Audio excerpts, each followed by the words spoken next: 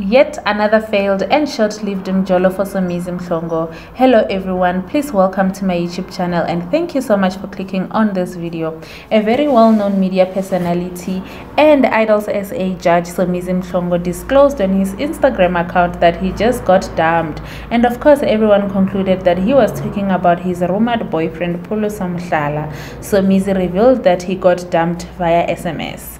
While everyone speculated about the undisclosed relationship he had kept under the carpet, others were convinced that he was talking about his rumored involvement with Pholoso. Somizi and Pholoso Mohlala have frequently been in the spotlights due to their alleged relationship, which they have both repeatedly denied. Some time ago, reports emerged that Pholoso had left Somizi to rekindle with his baby mama, but late rumors suggested that they had reconciled.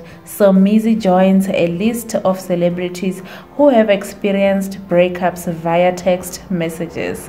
This highlights yet another failed relationship for Somizi after his relationship with Mohale Motau.